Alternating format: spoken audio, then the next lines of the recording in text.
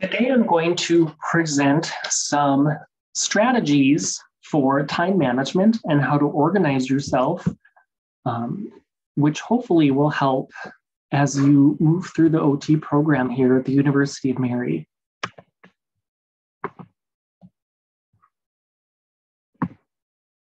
So, generally speaking, time management is the process of organizing and planning how to divide your time between different activities. So, as you move through the OT program, there are going to be countless activities, right? Activities meaning assignments, meetings, class times. Um, and then you'll have personal meetings or personal things going on in your lives too. And you're going to be expected to manage all of those things. And there's only so much time in a day, right? And so when we're looking at time management skills, it's so important because when we manage our time effectively, we're improving our overall performance. Um, we produce better work. Um, we deliver our work on time. When we have effective time management skills, we actually reduce our stress. We boost our confidence. We increase our productivity.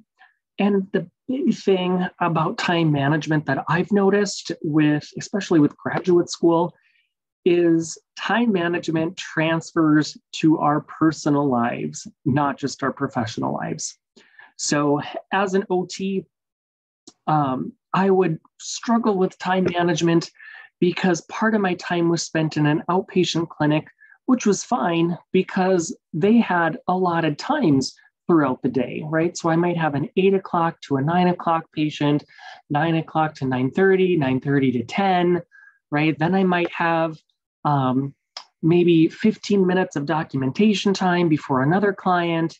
Um, but where I really struggle with time management is that then I would have to go to a skilled nursing facility across town. And then I wouldn't have that set schedule anymore. And I would have to figure out okay, I have six residents I need to see. I have two and a half hours to see them. I need to spend this much time with this resident, right? And I would have to do that independently every day on the fly. And so I feel like when I created this module, I was ref- reflecting a lot on that. Um, I was reflecting a lot on um, my time in graduate school and how we had multiple assignments due we had to manage our time to study throughout our time before we would have exams, right? We did it didn't work anymore to study the day before an exam. I had to study little bits along the way continuously. And so I felt like graduate school was a marathon, um, not a sprint, but a marathon that I had to sort of manage my time for long periods of time, right? Um, I feel like now, inst- in my personal life, instead of papers that are due, exams to prepare for, I mean, I certainly have things that I, I have to do for my job to manage my time. Um, I have to show up to class on time. I have to prepare my lecture material. I have to make sure my assignments are graded, right? I have to do those kinds of things. But in my personal life, I have to um, plan doctor's appointments, right? Plan eye appointments, plan dentist appointments, plan physical fitness, plan um, meal plan, meal prep, get to the grocery store, right? I have to do all of those things, not just for myself, but for my family as well. And so when, when again, when creating this, I, I really reflected on those skills I learned in graduate school to prepare for things um, certainly has impacted my professional as well as my personal life.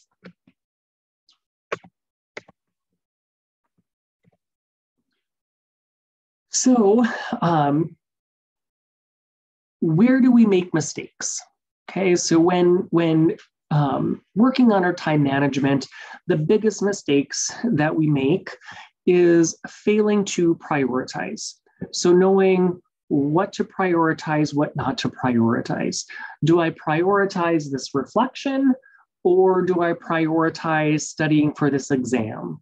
Okay, I think a lot of times in graduate school, um, we have deadlines, right? We have assignment due dates, and those due dates can help serve to help us prioritize.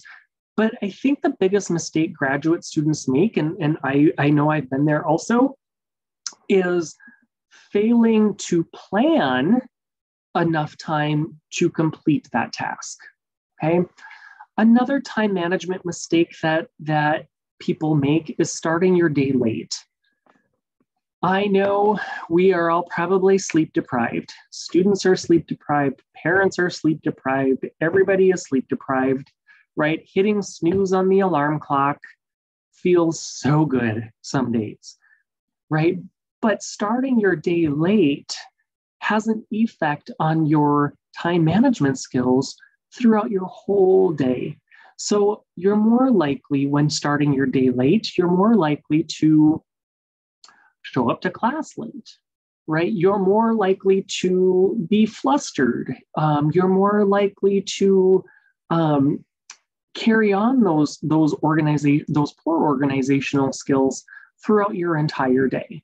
Okay, some days I have days where I didn't get out the door in time with my kids to take them to a doctor's appointment. I ended up being 10 minutes late the doctor saw somebody else. And so that made us 30 minutes late before the doctor was able to see us. Right. Then I had to drop them off at a at another appointment for therapy. Um, I was 10 minutes late for that. So it just seems like it snowballs throughout the course of your day, and then it increases your overall anxiety, right? Um, this kind of goes along with failing to prioritize, but ineffectively scheduling tasks. I think sometimes we don't always um, know how much time something's going to take, right? And so we sometimes don't allot ourselves enough time to complete a task. Um, sometimes um, we have people who procrastinate, okay? And this could be a personality thing. Um, certainly can be a time management mistake is when we procrastinate too long and then we don't leave enough time to work on a particular task. Um, another mistake that we tend to make is failing to manage distractions. We live in an era right now where we are plugged in constantly, right? Cell phones, um, email, um, family, right? We're just, we're constantly plugged in. Um, and then when I'm trying to work on something, right, I get a text message or I get an email or I get something that pops up, or I see somebody walk by my office, right? Or my dog potties on the floor and I have to clean that up. Or, you know what, I remember I have laundry that I'm doing and I have to go get a load of laundry and put it, the wash into the dryer, right? Um, oh, now I sat down, now I have to get up and use the bathroom, or gosh, I could go for a coffee. And so when we don't manage those distractions, right, then we're not we're not spending enough time actually doing the things that we're supposed to do. Um, that kind of goes along with um, we've talked about underestimating your time, um, but multitasking. Right now, multitasking can be a strength, right? I'm able to, to have um, the ability to juggle a bunch of tasks at one time. And I think to a point, multitasking is necessary in graduate school, right? We have to be working on this group assignment. Um, and we have to be studying for this exam and we have to be working on this paper um, and we have to do our laundry and we have to cook for ourselves and we have to go to the grocery store right? But i think um, what what we mean by multitasking here as a mistake is um, they're becoming distractions right? So if i'm really anxious about studying for this exam and i put all i need to put all my time into that exam right? I can't get distracted about oh, yeah, that's right. I have this reflection I need to do. So I'm going to work on that for a little bit. Okay, well, I think that's done. Now I'm back to this exam. Oh, wait, I have that paper. And so when they when they say multitasking mistakes, it's when you are working on something, make sure your mind is focused on that one thing. Okay. Um, busy versus being effective. So um, I call this spinning my wheels. Um, some days when I'm having time management issues myself, um, and this is when I'm usually distracted or when I have a lot of things I need to get done all in a short time frame. Um, I might work a little bit on this and, and appear busy, right? But I'm doing little bits here and there, and I'm not becoming as effective. Another time management mistake is being perfectionistic, um, meaning that we put too much time into things sometimes, right? Because we want to get 100%. Um, and that's not necessarily a bad thing to want to gain knowledge, but sometimes when it's it's impacting our ability to complete tasks on time because oh if i just hang on to it for another day right i'll get it just perfect well then the due date passes right and then that becomes a problem um, so I have seen that happen when when students do become so perfectionistic, um, but then they miss some of those deadlines um, because they just quite weren't finished, which then leads to them underestimating their time needed or managing to or failing to manage their distractions or failing to prioritize with those due dates. On the flip side, skipping breaks, right, is a mistake also. Um, our brain needs some of those breaks. We need to break for food. If we don't have food, our brain concentrates on being hungry and doesn't concentrate on our task at hand. Okay. Um, and so just allow the time needed, right? And schedule in those breaks.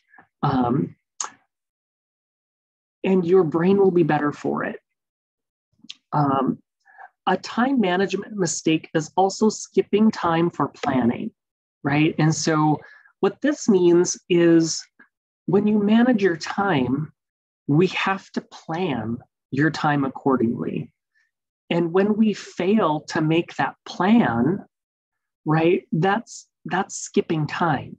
And so students who have a really hard time managing their time um, often don't have a planner, right? Or they don't sit down with their syllabus schedule, or they don't do some of those things ahead of time, right? They don't write out their schedule ahead of time. They sort of take things as they come. Well, then that's when things get forgotten or things get missed. And so take that time for planning. So these are the most common time management mistakes that we can take or that we make. And, and I think we all when we look at them, we can then turn those mistakes into strategies or tips because we can look at those mistakes and we can say, oh, yeah, that's right, I need to do that. Right? Oh, yeah, that's right. Um, when creating this PowerPoint voiceover, right? I turned my email off. I turned my um, ringer off on my cell phone. Okay, so I, de- I took away some of those distractions um, prioritizing. So you can, like I said, in graduate school, we do have a lot of due dates, right, that you'll have to keep up on. Um, and I think sometimes Canvas does a good job for you, um, but you'll notice that sometimes, like as an instructor, if I have staggered due dates for one assignment, meaning this group presents in September, this group presents in October, this group presents in November, I can't put a I can't put multiple due dates in Canvas. So Canvas won't have that due date. Those particular due dates for those groups will be in the syllabus schedule. Okay. And so sometimes if students are just looking at Canvas due dates, um, they will sometimes miss um, those due dates if they're not checking the syllabus schedule. And so then they, they miss that prioritizing. Now, something I found um, as a tip is on the right hand side on how to prioritize. And so if something is important and urgent, do now. right? And so if something is important, like maybe your grade on an exam, and it's urgent, meaning that um, the urgency is the exam is tomorrow, right? Well, study now. okay, it's urgent. Um, if something's important, like maybe your reading assignment um, for a particular course, but it's not urgent, meaning that you don't have the course for a couple days, right? You can do that next. Okay. Um, if something is not important, um, meaning, let's see here, something is not important, but it's urgent. Maybe it's something like something leisure, okay, meaning um, I like to exercise so many times per day. I like to get so many miles of running in per week. So I feel a sense of urgency, um, but it's not necessarily important at the moment. Um, and so I can either do that later on in the week or in some cases maybe delegate. Now i can't delegate somebody else to exercise for me right? But maybe there's another example you can think of where maybe you know um, something's not necessarily important for your schooling um, but you're feeling a sense of urgency for it. Um, this might be a call to a family member right? Um, maybe it's not important. Um, i mean maybe it's your mother and it's urgent right um, but maybe it's not important because the house isn't on fire or something like that. And so, you know what? I will call her back or I will send her a text message saying, I will call you back at five o'clock today um, because I am studying until then. Now, if something is not important and it's not urgent, okay, simply ignore it, right? Maybe it's junk email or something along those lines, okay? And so you can simply ignore that. So again, you can use a chart like this to help you prioritize, if you will. Um, literature also recommends that we do our most difficult work when we're the most productive. Now, I tend to be the most productive with my work, and it kind of changes with the season, with the seasons, right? Um, but I'm most productive with my work around mid morning. Okay. 9, 10, 11 o'clock, um, I'm the most productive. And so those are the times when I'm preparing some of my more difficult content for my job. Okay. Um, how to, or preparing my lecture for um, statistics, right? A statistics course I teach, um, where I really have to have that heavy concentration. That's the time when I'm going to look at that information. Now, when I was in graduate school, my most productive time was between 10 p.m., right, and 2 a.m. And so that didn't necessarily work very well with sleep, and that's a whole other issue. Um, but I felt like those times I was less distracted, right? I wasn't getting phone calls, I wasn't getting text messages, I wasn't getting emails coming in. Um, my personal needs were taken care of. Um, I had dinner, right? I probably had a snack, um, those kinds of things. And so that was the time I could set aside when I wasn't going to go anywhere. I wasn't going to go, oh, I need to go get groceries because the stores were closed. Okay. So, again, in graduate school, um, that's when I was the most productive. Not that I'd recommend that for everybody, that just is what worked for me um, sticking to a schedule. And so I highly recommend you guys get a class schedule, right? I highly recommend you look at those times when you don't have class. Um, and maybe you start scheduling time um, for group work. Okay.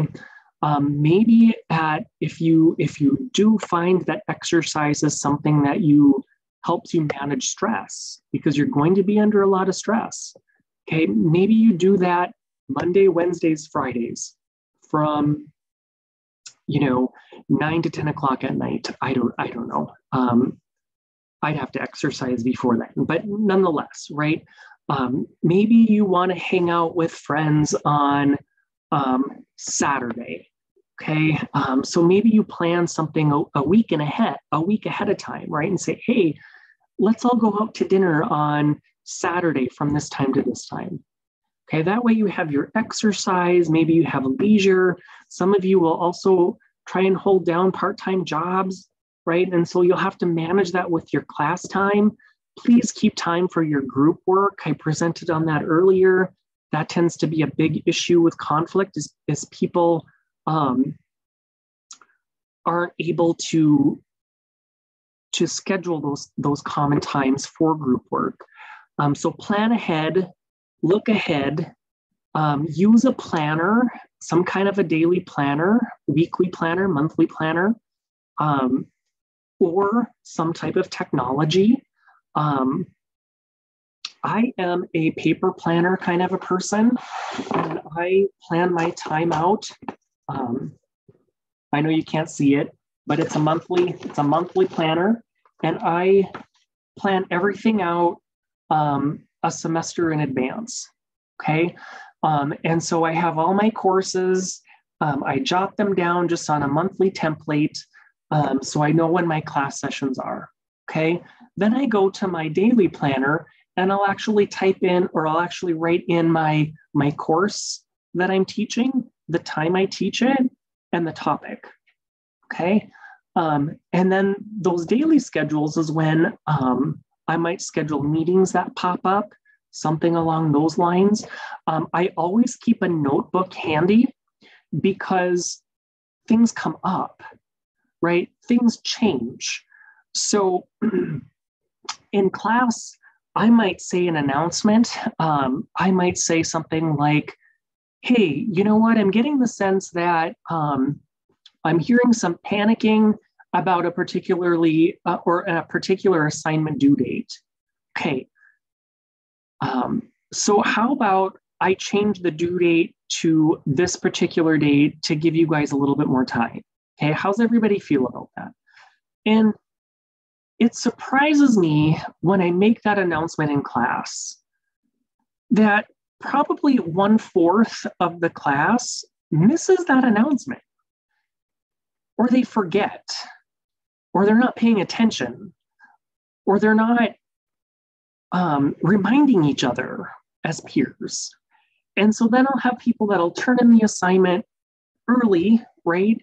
And they'll say, "Oh, well, I," and they they won't do very well on it. And then I'll give them feedback and I'll ask them what happened, and they'll say, "Well, later we we found out that you changed the due date, um, but we had already done it."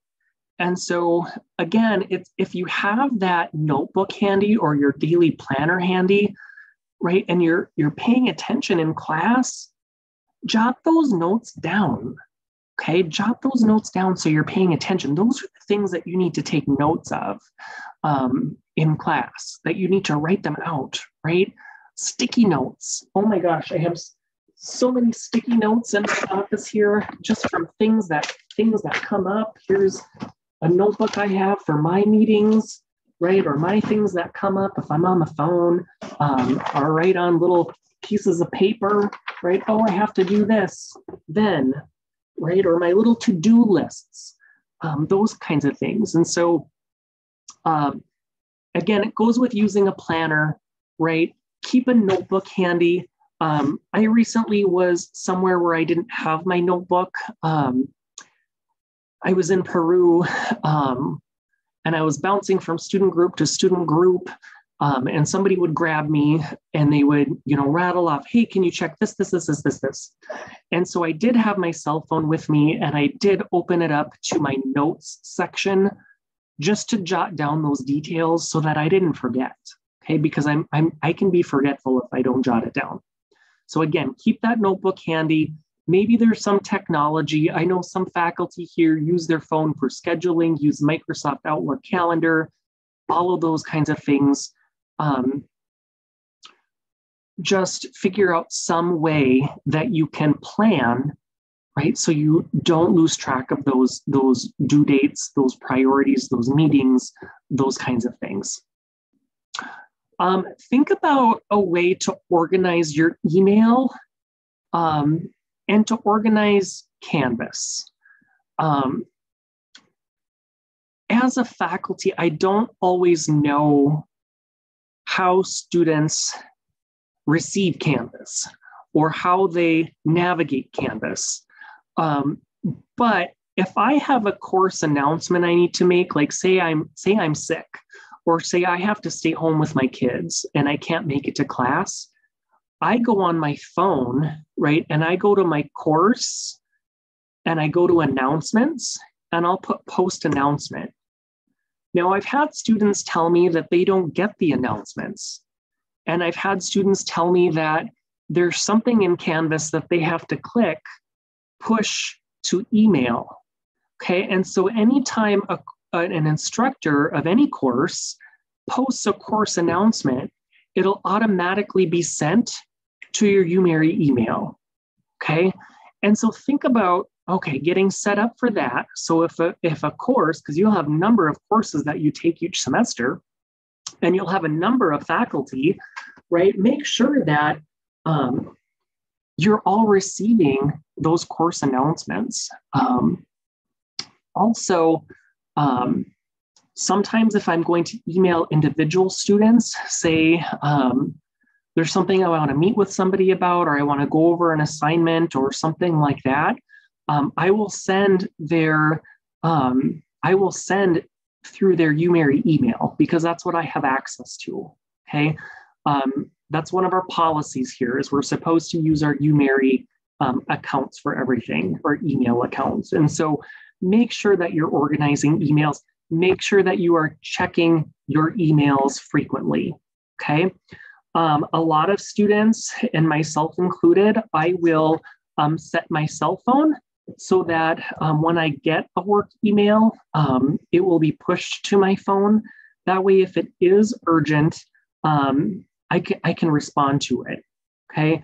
Um, no, I, I, I, don't expect students, and, and I hope you don't expect from faculty that we're on call 24 7, meaning that when you are studying for something on a, on a Sunday morning, right, and you have a question, you email your faculty.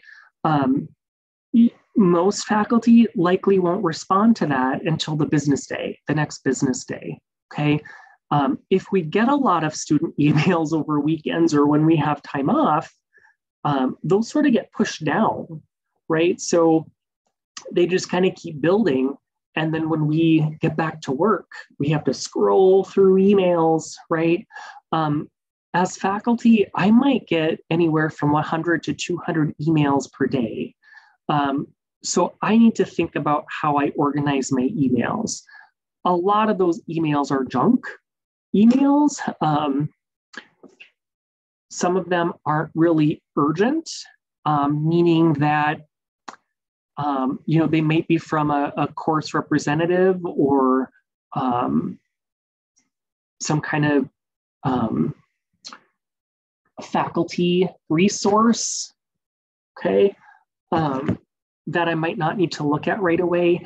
Um, if something comes from um, UMary administration, um, you can you can bet that I'm looking at that. Um, if something awful happens with a student or something like that, and, and they reach out to me, if I see that it's urgent, I might reply back, um, right? Or or um, I can be pretty flexible that way. But nonetheless, um, I organize it by flagging my emails, right? Or you can set it so that you can actually recheck it later. Um, I have had a lot of students where I've sent emails to, and oh, I never received your email. Well, I can go into my inbox or I can go into my sent folder and see that something was sent, that I sent it, right? And then I can confirm, oh, did I did I put in the wrong email address? And nine times out of 10, that's what happened is I put in a wrong letter or, or a wrong number or something like that, right? Um, but on those other accounts, right, a student will say, oh, I didn't check my email or, oh, it got buried. And I, well, I understand that, but try and figure out a way then how you can organize your email so that you don't get buried, okay? Because we do as faculty, we rely on email communication with students um, quite often. Okay. and ask for help, ask each other for help. Um, I, I, find this fascinating too. It's a lot different than when I was in OT school. My first um, thing that I would do when I would get to class was I'd turn to my neighbor and I'd be like, hey, this is what I have on, on my planner, right? Are there any meetings that I forgot today? Or when was that SOTA meeting again? Um, or um, oh shoot, we have advising coming up. Did I schedule that meeting yet? Um, I'm not sure. When when are you? Did your advisor um, schedule the meeting yet, or did they come up with their schedule yet on their door, or how are they doing that? Right. So my first go-to was always the people sitting next to me. If that person didn't know, I'd turn to the person behind me and say, "Hey, what do you think?" Right. Um, or you know, and then we had um, I'll remember I remember her name, Susan Okay, she was one of my classmates in OT school, and she would always say, um, Susan and Stephanie, um, either one of them would say, Oh, reminder, so and so moved the due date of this assignment. Okay, does everybody remember that? Or, um, hey, remember we all have this meeting at such and such time today, right? And so there were there were people i think just have the the sense of helping each other out. We're a community um, right? And just kind of being giving friendly reminders right? And asking each other for help instead of going to faculty um, for being the first first case scenario. Like um, there's been a couple times especially with with covid over the years and stuff where um, maybe I wasn't able to make it to a class. Um, I sent out a class announcement, right? And then a student will email me, um, Dr. Lawson, did you cancel class today? Um, and then I'll get another email, Dr. Lawson, did you cancel class today? And then I'll get another email, Dr. Lawson, I, nobody's in class right now. What's going on? Um, and I always get a little frustrated with that because I sent the class announcement, right? Um, and instead of sending one person 20 different emails or getting 20 emails from different people, use your resources, right? Use your, go to your Canvas page, go to your syllabus, go to your peers, um, and ask, ask them all for help, okay? And, and that's really gonna help you with your time management tips. How to organize. So I've talked about some of these already. Um, this is a, a, copy of your daily schedule. Okay, so nine o'clock in the morning, um, right? You kind of see here, you have from 12 to 2 off. Um, you get a little break there. Um, this is year one, of course. Um, this section is year two, so year two will have 11 to 12 off. Um, two to three off. And, and so you can kind of see those blank, those blank places, okay?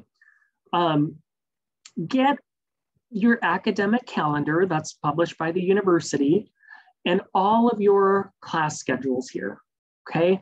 And so here, again, here's your course schedule, academic calendar. I didn't pull that up, but your academic calendar is going to have the days off, right? So when is fall break? When are we done with classes on Thanksgiving for Thanksgiving? Okay. Um, when is Christmas break start? When is finals week?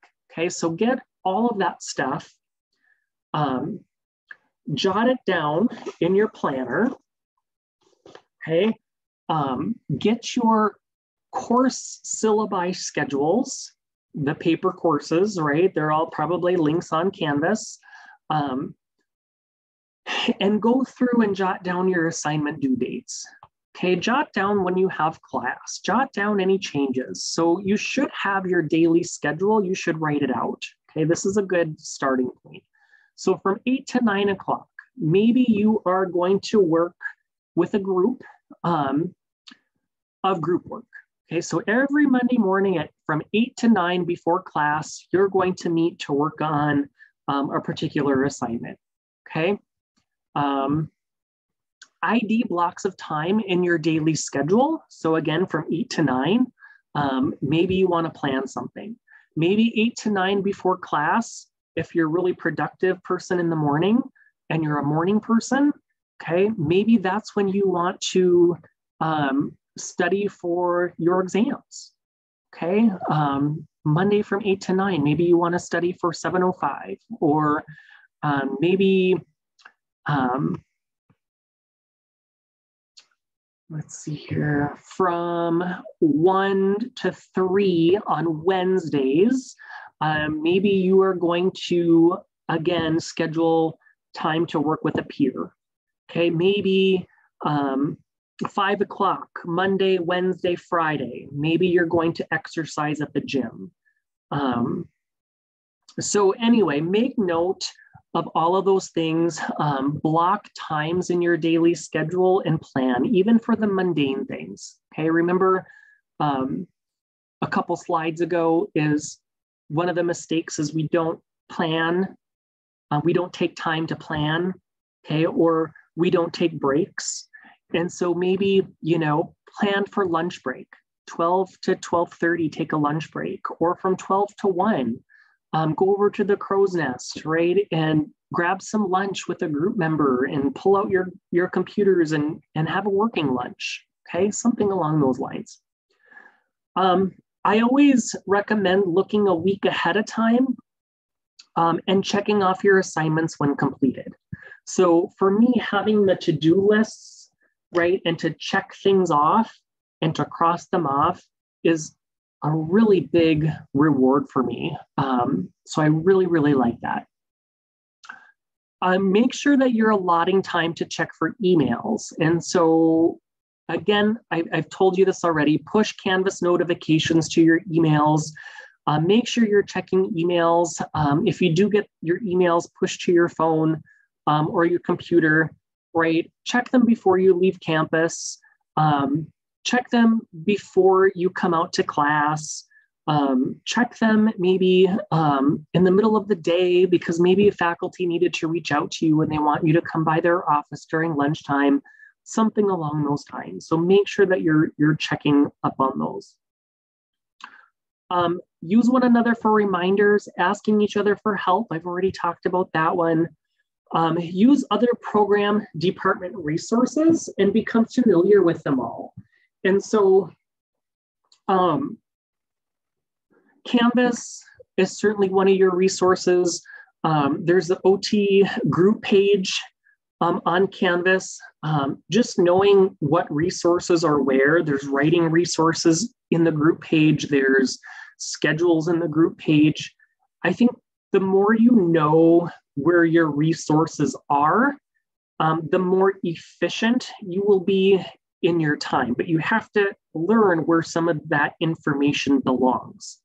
Um, research guidelines is a document um, that tells you um, that Dr. Sibla and I created, and, and you know it, it um, outlines sort of the the um, direction you'll go and what to include in your research. Um, your OT student handbook outlines all of the policies.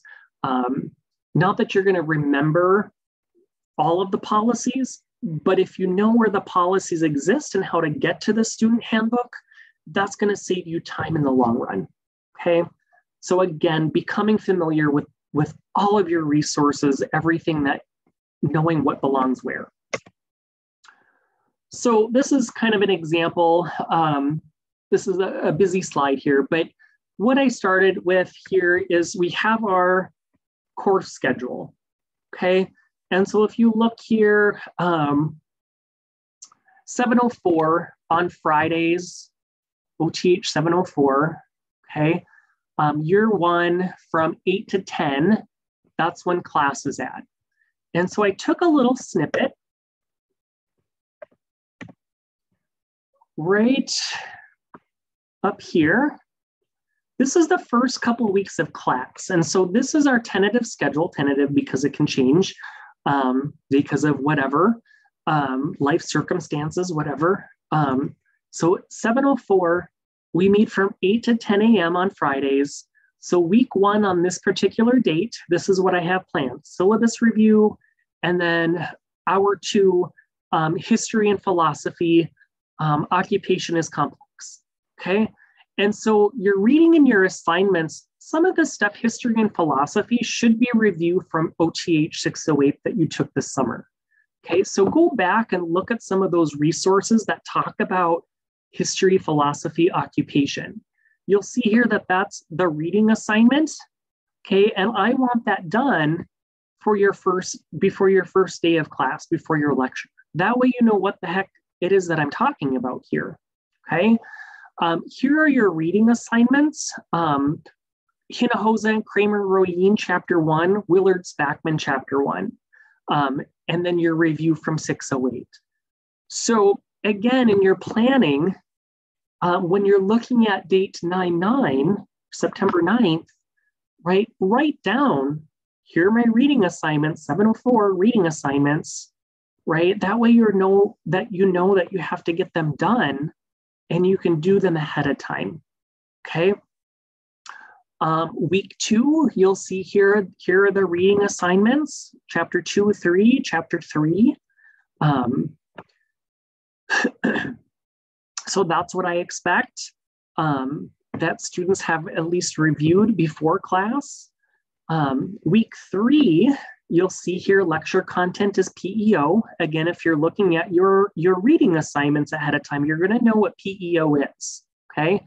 You'll also notice that I have quiz one here covering weeks one and two. So all of this information, chapter one, chapter one, two, three, chapter three, all of this information is gonna be somehow covered on the quiz. Now we'll talk about this in class, um, but again, this is reading assignments. So this is gonna tell you, uh-oh, quiz one opens at 6 a.m. on September 23rd and closes at 10 p.m.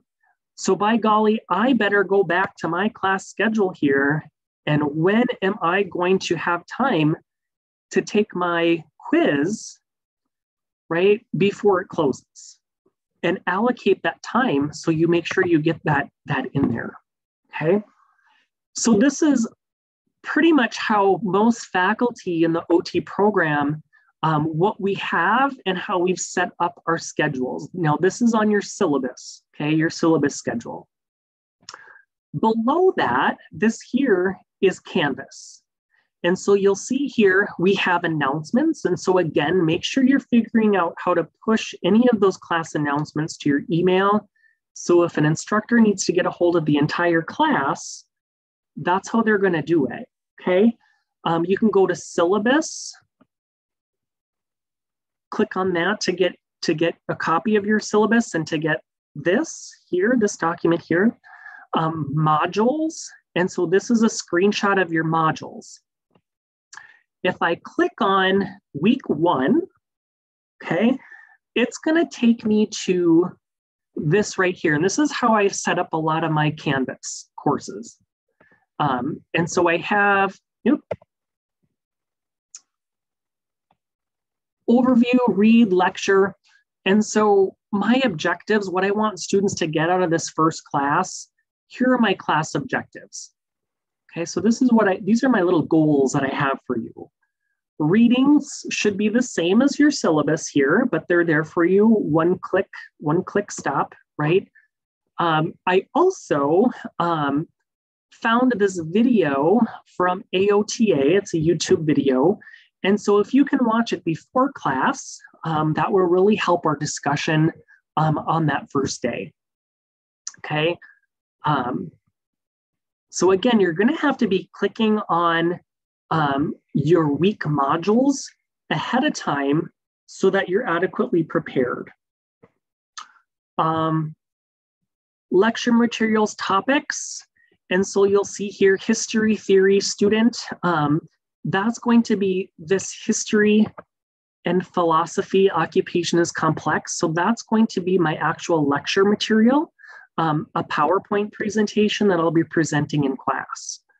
Um, sometimes if there's an assignment due, like say the quiz or something like that, under assignments due, um, I'll have a particular assignment. Maybe there's a paper due or maybe there's something like that, um, some kind of an announcement I can put for your assignments. Okay.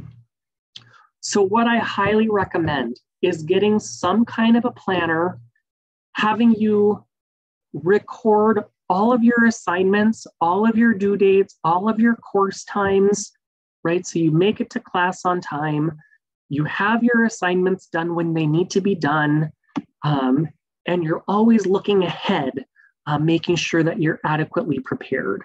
Okay. And, you know, maybe a student next to you, hey, you know what? Um, I saw on the syllabus, Dr. Lawson didn't have the YouTube video, um, but on Canvas it is. So make sure you you keep an eye or make sure you watch the YouTube video. Okay, something like that. And so um, that's what I mean by helping each other out.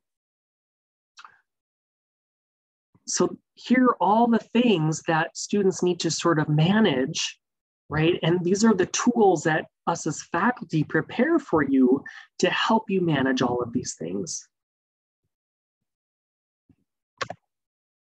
So references, resources. Um, so what I find helpful again is when I'm just initially planning out a semester, um, I print off these blank um, and printable calendars um, just to handwrite.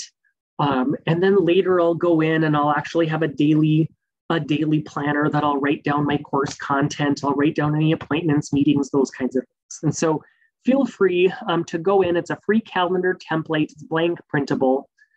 Um, I have found other organization tips for graduate school specifically. Um, and so there's a couple little resources here, how to stay organized, um, time management mistakes. I feel like when we look at the mistakes, we can, oh yeah, that's right, I do that mistake. I can probably work on that.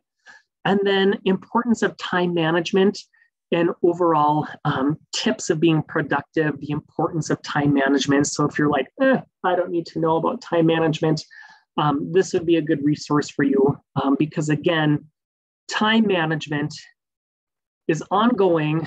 You're going to have to manage your time throughout your career, not just grad school, but throughout your career um, and even through your personal life. And so hopefully these strategies sort of help you um, plot out your time and, and manage your time more effectively. So what I'd like you to do is submit the following in Canvas as a little assignment.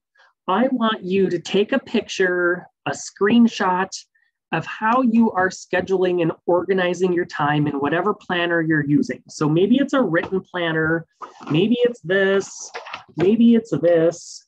Okay, I want to see that you have something that you are scheduling your time. Okay, I want you to provide a brief reflection on its effectiveness. So, you know what? I'm trying to use this daily plan or this monthly planner here, and there are so many darn courses and so many darn assignments. I can't keep it all straight, and I it's not really effective for me. Okay. And so then maybe in part three, you can provide a strategy that you can implement to improve your time management organizational skills.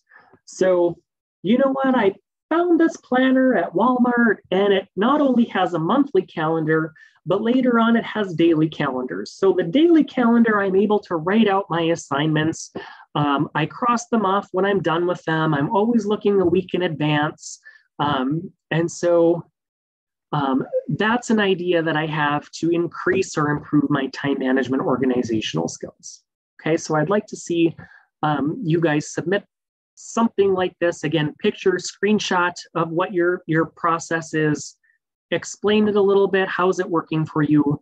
And we all can improve on time management organizational skills. So let's provide a strategy um, that we can do right from the get-go to help us manage and improve. All right, thank you so much. Um, we will all get through this together.